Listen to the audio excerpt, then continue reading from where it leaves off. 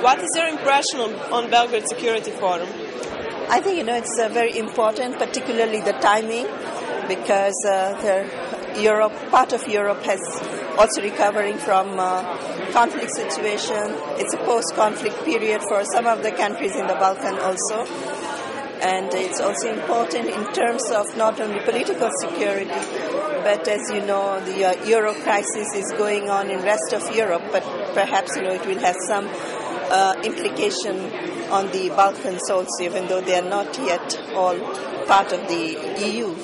But it's very important that uh, uh, issues get discussed and uh, how to bring reconciliation and reintegration in the society. It's very important in a globalized world, definitely.